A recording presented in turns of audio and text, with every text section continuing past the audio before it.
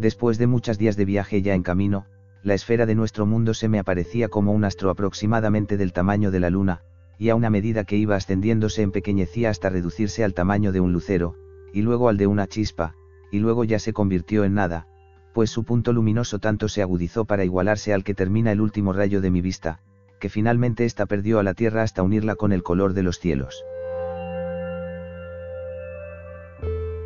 Puede ser que alguien se extrañe de que durante tan largo viaje, nunca me hallase por el sueño rendido. Mas como este solo es producido por la dulce exhalación de las viandas, que se evaporan desde el estómago hasta la cabeza, o por una necesidad que siente la naturaleza de aquietar nuestra alma, para reparar con el reposo tanta cantidad de espíritu como en el trabajo perdemos, no es extraño que no tuviese ganas de dormir, puesto que no comía, y puesto que el sol me restituía mucho más calor radical, del que yo consumía.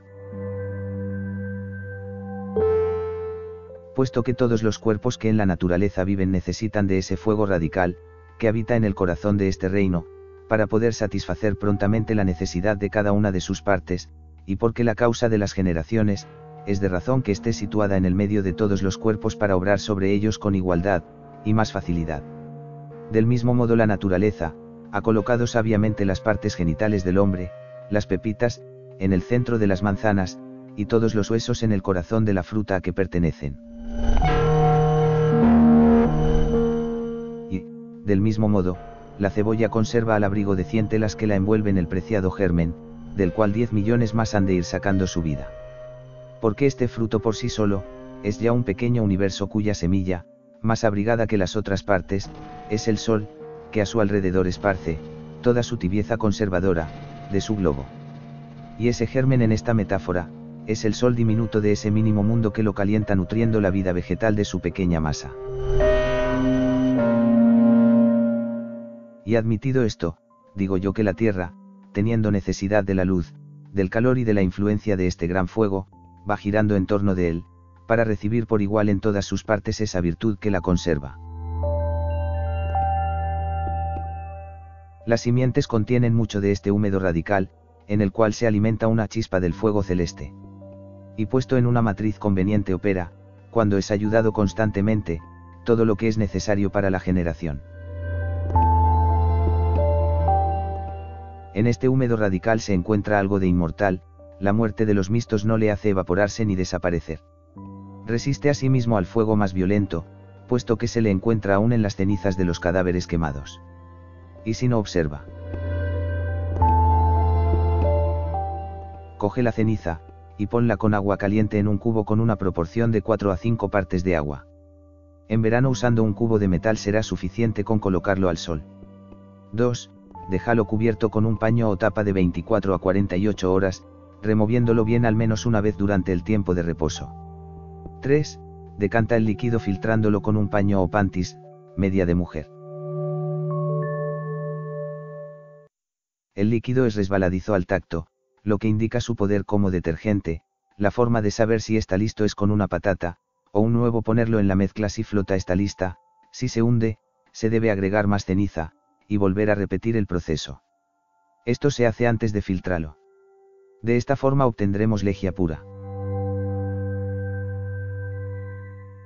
Cada mixto contiene dos húmedos, aquel del que acabamos de hablar, y un húmedo elemental, en parte acuoso y en parte aéreo. Este cede a la violencia del fuego, se eleva en humo, en vapores, y cuando está completamente evaporado, el cuerpo no es más que cenizas, o partes separadas las unas de las otras. No es así respecto al húmedo radical, puesto que constituye la base de los mixtos. Afronta la tiranía del fuego, sufre el martirio con un coraje insuperable, y permanece unido firmemente a las cenizas del mixto, lo que indica manifiestamente su gran pureza. La experiencia ha mostrado a los vidrieros, gente comúnmente muy ignorante en el conocimiento de la naturaleza, que este húmedo está oculto en las cenizas han encontrado en la fuerza del fuego el secreto de manifestar, en lo que cabe, de lo que son capaces el arte, y la violencia del fuego artificial. Para hacer el vidrio necesariamente se han de poner las cenizas en fusión, y no habría fusión si no hubiera allí el húmedo. Sin saber que las sales extraídas de las cenizas, contienen la más gran virtud de los mistos, los labradores queman los rastrojos, y las hierbas para aumentar la fertilidad de sus campos. Prueba de que este húmedo radical, es inaccesible a los ataques del fuego, porque es el principio de la generación, la base de los mistos, y que su virtud y su fuego activo solo permanecen entorpecidos hasta que la tierra, matriz común de los principios, desarrolla sus facultades, lo que se ve diariamente en las semillas.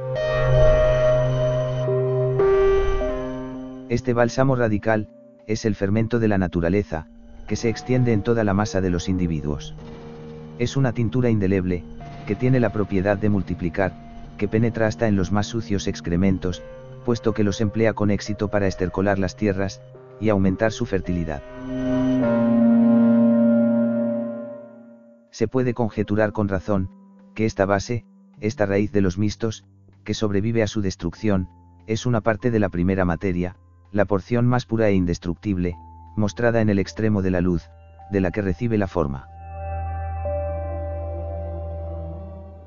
Pues el matrimonio de esta primera materia con la forma es indisoluble, y todos los elementos corporificados, en los individuos sacan de ella su origen. En efecto, no es necesaria una tal materia para servir de base incorruptible, y como raíz cúbica a los mistos corruptibles, para poder ser un principio constante, perpetuo y sin embargo material, en torno del cual girarían sin cesar las vicisitudes y los cambios que los seres materiales experimentan todos los días. Si está permitido aportar conjeturas en la oscuridad del porvenir, no se podría decir que esta substancia inalterable es el fundamento del mundo material, y el fermento de su inmortalidad, mediante el cual subsistirá tras su destrucción, después de haber pasado por la tiranía del fuego, y haber sido purgado de su mancha original, para ser renovado. Y de venir incorruptible, e inalterable durante toda la eternidad. Parece que la luz solo ha operado sobre él, y que ha dejado el resto en las tinieblas, pues conserva siempre una chispa, que solo necesita ser excitada. Pero el fuego innato es bien diferente del húmedo. Tiene la espiritualidad de la luz, y el húmedo radical es de una naturaleza mediana, entre la materia extremadamente sutil, y espiritual de la luz y la materia grosera, elemental y corporal. Participa de los dos, y liga estos dos extremos. Es el sello del pacto visible y palpable de la luz, y las tinieblas, el punto de reunión y de comercio entre el cielo y la tierra. No se puede, pues, confundir sin error este húmedo radical, con el fuego innato. Este es el habitante, y aquel la habitación, la morada. Es en todos los mistos, el laboratorio de Vulcano, es el fogón donde se conserva este fuego inmortal, primer motor creado de todas las facultades de los individuos, el bálsamo universal, el elixir más precioso de la naturaleza, el mercurio de vida perfectamente sublimado, y trabajado, que la naturaleza distribuye mediante peso, y medida a todos los mistos. Quien sepa extraer este tesoro del corazón, y del centro oculto de las producciones de este bajo mundo, desnudarlo de la espesa corteza, elemental, que lo oculta a nuestros ojos, y sacarlo de la prisión tenebrosa donde está encerrado, y en la inacción, podrá gloriarse de saber hacer la más preciosa medicina para aliviar el cuerpo humano. Con todo esto, mi ascensión prosiguió, y a medida que me iba acercando a este mundo inflamado sentía, como se iban instilando en mi sangre los humores de cierta alegría que la renovaban a ella, y pasaban hasta mi alma. De cuando en cuando volvía la mirada hacia lo alto de mi caja para admirar los varios matices que refulgían en mi pequeña cúpula de cristal. Todavía tengo presente en la memoria que como dirigiese entonces mis ojos hacia la abertura de mi vasija, súbitamente, y lleno de sobresalto, sentí como si desde todas las partes de mi cuerpo, se separase volando un no sé qué pesado. Un torbellino de humo, tan espeso que casi podía palparse, ahogó mi vasija entre sus tinieblas, y cuando quise yo ponerme de pie para contemplar esa nube negra que me cegaba, ya no vi, ni vasija, ni cristales, ni vidrieras, ni el techo de mi cabaña. Entonces bajé la vista para mirar cuál podría ser la causa de la ruina de mi máquina, pero en su lugar tan solo encontré el cielo, que me rodeaba por todas partes. Más espantado que esto me dejó el sentir que, como si las ondas del aire se hubiesen petrificado, no sé qué obstáculo invisible rechazaba mis brazos cuando yo intentaba extenderlos. Pensé entonces que a fuerza de ascender había llegado hasta el firmamento, que según han dicho algunos filósofos y algunos astrónomos es un término sólido. Empecé a temer si me quedaría aquí detenido, pero el horror con que me sorprendió la extrañeza de esta aventura vino a crecerse con los acontecimientos que luego me sucedieron, porque como fuese con la vista vagando acá y acullá, vinieron mis ojos a caer sobre mi pecho, y en lugar de contemplar tan solo la superficie de este pasaron a través de todo mi cuerpo. Enseguida advertí que también veía por detrás, y esto sin que casi hubiese diferencia alguna en el tiempo.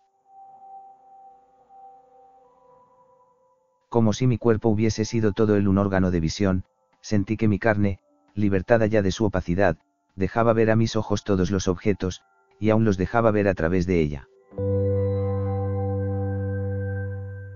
Finalmente, después de haber tropezado muchas veces, sin verlos, con la bóveda, los muros y el piso de mi caja, comprendí que, por un secreto misterio de la luz y de la claridad que ésta tenía en su nacimiento, mi caja y yo nos habíamos vuelto transparentes. No es explicable que por ser diáfana yo no pudiese ver mi máquina, pues vemos el cristal, el vidrio y los diamantes que también son diáfanos.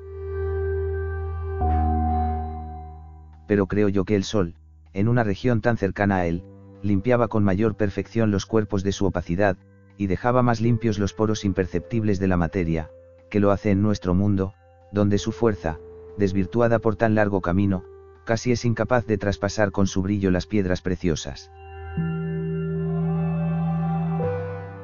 Sin embargo, a causa de la interior igualdad de sus superficies, las hace brillar a través de sus cristales como si tuviesen unos ojos pequeños teñidos, con el verde de la esmeralda, el escarlata de los rubíes, o el violeta de las amatistas, según que los diferentes poros de la piedra, ora sinuosos, ora lisos, enciendan, o apaguen con la cantidad de sus reflejos esa luz debilitada. Puede ser que una dificultad acometa al lector, y es la que tenga para comprender cómo yo podía ver y no ver al mismo tiempo mi cabina, puesto que yo me había vuelto tan diáfano como lo eran los cuerpos de mi alrededor. A lo que yo contestaré, que sin duda el sol obra de distinto modo sobre los cuerpos vivos, que sobre los inanimados, puesto que ningún lugar de mi carne, de mis huesos ni de mis entrañas, aunque se tornasen transparentes, llegaron a perder su color natural. Antes al contrario, mis pulmones, conservaban todavía junto a su escarlata rojizo, su blanda delicadeza. Mi corazón, siempre bermejo, oscilaba cómodamente entre sus sístoles y diástoles.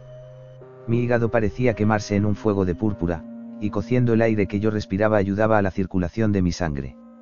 Finalmente, yo me veía, me palpaba y sentíame el mismo aunque ya no lo fuese. Mientras iba yo considerando esta metamorfosis, mi viaje se iba haciendo cada vez más lento, aunque no dejase de adelantar a causa de la serenidad del éter, que iba rarificándose a medida que yo me acercaba al manantial de los días. Porque, como la materia en estas alturas, es muy ligera en virtud del gran vacío que la llena, y como esta materia es por consiguiente muy perezosa, porque el vacío no es capaz de acción, este aire no podía producir al pasar por el agujero de mi caja, sino un viento muy sutil que apenas si bastaba a sostenerla. Tanto meditaba yo en el malicioso capricho de la fortuna, que se oponía siempre al éxito de mi empresa con tan tornadizos antojos, que me asombro de que no se me volvieran los sesos agua pero ahora he escuchado un milagro que los futuros siglos se resistirán a creer. Encerrado en una caja de luz que acababa de perder de vista, y ya tan cansada mi voluntad por el esfuerzo que hacía para no caer, hallándome en un estado en que todos los recursos que puedan albergarse en el mecanismo del mundo, eran incapaces para salvarme, yo me encontraba reducido a los límites de una extrema desgracia. Con todo, así como cuando nos sentimos expirar naturalmente, nos vemos impulsados a abrazar a los que nos han dado el ser, levantaba yo los ojos al sol, nuestro común Padre. Este ardor de mi voluntad no solo sostuvo mi cuerpo, sino que lo empujó hacia la cosa que deseaba abrazar. Mi cuerpo, a su vez, empujó a mi caja, y de esta guisa continué mi viaje. En cuanto me percaté de esto, erguí con más atención que nunca todas las facultades de mi alma para encadenarlas al deseo que me atraía. Pero mi cabeza, que estaba cargada con el peso de mi cabina, contra cuyo techo los esfuerzos de mi voluntad, a pesar mío, me erguían, tanto me estorbó, que al fin ese peso me obligó a buscar a tientas el lugar de la puerta invisible que en ella había practicado. Afortunadamente, la encontré, la abrí, y me eché fuera de ella. Pero ese natural temor de caer que tienen todos los animales cuando reparan en que no están asentados sobre nada, hizo que para asirme extendiese bruscamente el brazo. Yo no tenía otra guía que la naturaleza, que no sabe razonar, por esto la fortuna, que es enemiga suya, empujó maliciosamente mi mano sobre el remate de cristal. ¡Ay! ¡Qué trueno sonó en mis oídos! Tal desorden, tal desdicha, tal espanto no pueden expresarse con palabras. Los cristales ya no traían aire alguno. Porque ya no se hacía el vacío. El aire ya no se hizo viento, con la prisa de llenarlo, y el viento cesó de empujar a mi caja hacia lo alto. Pronto, después de esta ruina, yo vi que mi máquina caía largamente a través de esas vastas campiñas del mundo. Ella reconcentró en la misma región la opaca tiniebla, que había exhalado. Tanto, que como la enérgica virtud de la luz se extinguiese en ese lugar, volvió ella a unirse ávidamente con el obscuro espesor que le era, esencial, de la misma manera que se han visto algunas almas que para volverse a unir con sus cuerpos, de los cuales se separaran hacía ya mucho tiempo, han tenido que ir errantes, alrededor de sus sepulturas, más de cien años. Yo dudo que mi cabina perdiese por entero su diafanidad, pues yo la vi después en Polonia, en el mismo estado que ofrecía cuando yo entré en ella por primera vez. Por lo demás, he sabido que cayó sobre la línea equinoccial, en el reino de Borneo. Que un mercader portugués la compró a un insulano que la había encontrado, y que yendo de mano en mano por fin había pasado al poder de este ingeniero polonés, que la usaba para volar. Así, pues, suspenso en el vacío de los cielos, y ya consternado por el presentimiento de la muerte que me causaría mi caída, volví hacia el sol, como os he dicho, mis tristes ojos. Mi vista guió mi pensamiento hacia el mismo punto, y mis miradas, fijamente prendidas de su globo, marcaron un camino cuyas huellas siguió mi voluntad para conducir mi cuerpo hasta el término de su viaje. Este vigoroso arranque de mi alma no parecerá incomprensible, al que considere los más simples efectos de nuestra voluntad, pues sabido es que, por ejemplo, cuando yo quiero saltar, mi voluntad, impulsada por mi fantasía, habiendo puesto en actividad a todo su microcosmo, intenta transportarme hasta el término que ella solicita.